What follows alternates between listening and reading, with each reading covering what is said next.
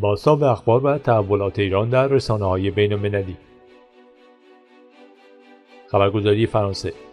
وزیر خارجه ایران گفت که او یک جلسه کلیدی در مورد غزه در مقر سازمان ملل متحد در نیویورک را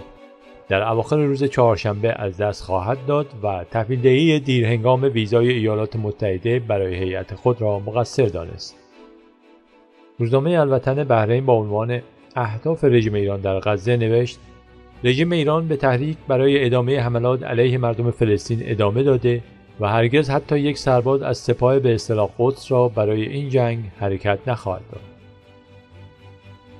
سایت العربیه نام جنگی آمریکا یک پهباد KS-4 حوسی ساخت ایران را در نزدیکی تنگه بابالمندب سرنگون کرد.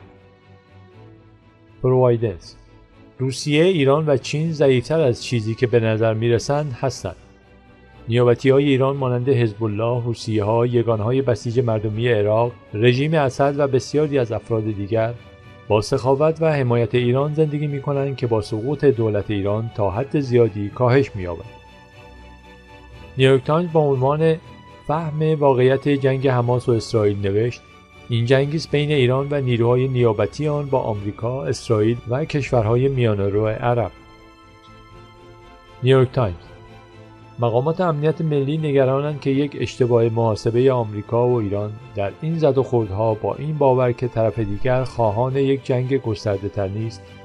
می تواند دقیقا به همان جنگ وسیعتر بیانجامد. شمس پرس ایران ازدواج دختر بچه ها یکی از اشکال جدی خشونت علیه دختر بچه ها می باشد که در قوانین رژیم ملایان نهادینه شده و به دلیل گسترش فرق در ایران تحت حاکمیت آخونده بسیار رایج شده است.